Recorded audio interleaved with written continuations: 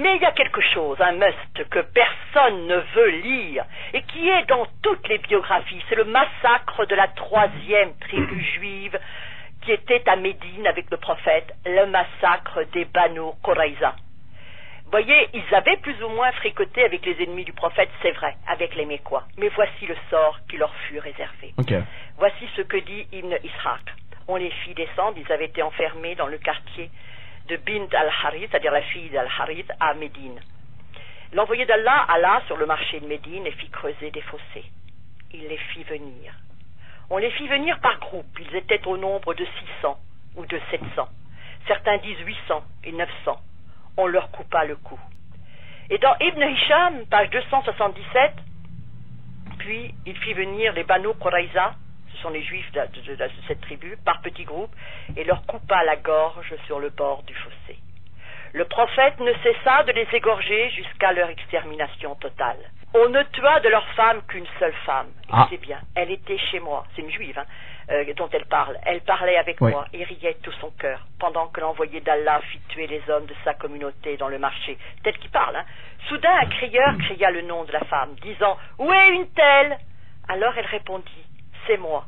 Je lui dis Qu'est-ce qu'il y a? Elle répondit On va me tuer. Mais pourquoi? lui dis-je À cause d'un acte que j'ai accompli. Ah. On l'a pris et on lui coupa le cou. Et Aïcha est étonnée de son cas. Elle dit ceci parce qu'elle est très, très sensible, Aïcha. Je n'oublierai jamais la sérénité de son âme et la fréquence de son rire, tout en sachant qu'elle allait être tuée.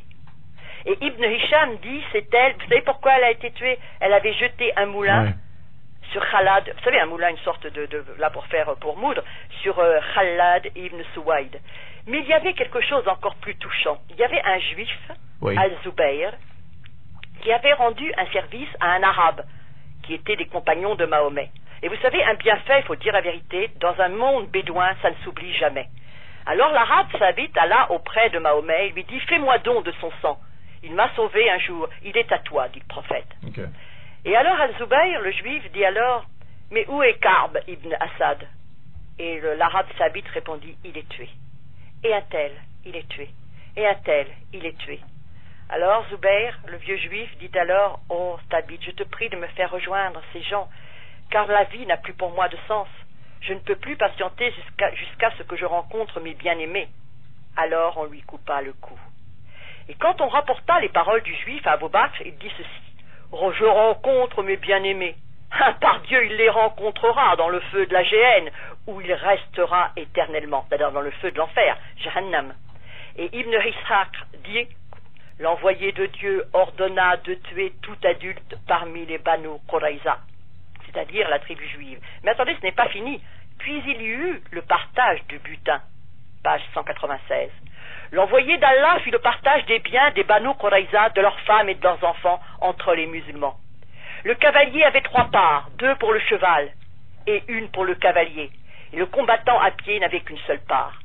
Puis l'envoyé d'Allah envoya Sa'd ben Zaïd al-Ansari à Nejd, vous savez c'est le cœur de l'Arabie, avec des femmes captives pour les vendre et acheter en échange des chevaux et des armes.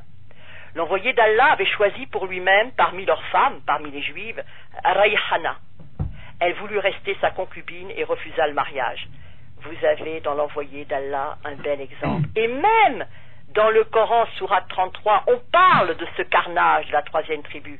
Il est dit, une partie d'entre eux a été tuée par vous, une autre réduite en captivité. Fariqan yaqtuluna. Mais il y a autre chose. Après avoir massacré cette tribu juive, une, c'était la troisième, les deux autres avaient été en quelque sorte chassés parce que on était intervenu. Vous savez, c'est ces systèmes d'alliance en Arabie. Ils s'étaient réfugiés, les pauvres, dans une palmeraie qu'on appelle Khaybar, K-H-A-Y-B-A-R. Et alors, et on va pas les laisser tranquilles. C'est pas forcément la faute du prophète. Vous savez ce que dit Ibn Hisham? Le slogan des partisans de l'envoyé d'Allah durant la campagne de Khaybar, c'était Ô victorieux, tu, tu Vous savez, des vrais excités. Moi, je pense que le prophète était le moins, c'était des fous. Et voilà comment le récit de la campagne de Khaybar. Mais là, euh, Oui. ma- Madame Delcambre, là. Oui, je euh, peux continuer comme ça des heures, hein Oui, je Vous savez sais. qu'est-ce qui s'est passé Ce qu'il a fait à la Khaybar? Il a demandé au chef juif Kinana ben Arabia, chez qui se trouvait le trésor des Oui. Juifs. Il lui a demandé où était le trésor. L'autre ne voulait pas le dire. Il lui a dit, tu- il a- à ce moment-là, il a dit, si je trouve le trésor, est-ce que tu permettras que je te tue? Kinana a dit, oui, comme ça. Et alors, l'envoyé d'Allah a trouvé une partie du trésor. Il a continué, il a ordonné à Zubayr ben al-Awam de le torturer jusqu'à ce qu'on puisse faire sortir ce qu'il y avait en lui. Al-Zubayr se mit à faire brûler sur sa poitrine jusqu'à ce, que Kinana fut sur le point de mourir. Puis l'envoyé de Dieu le livra à Muhammad ben Maslama.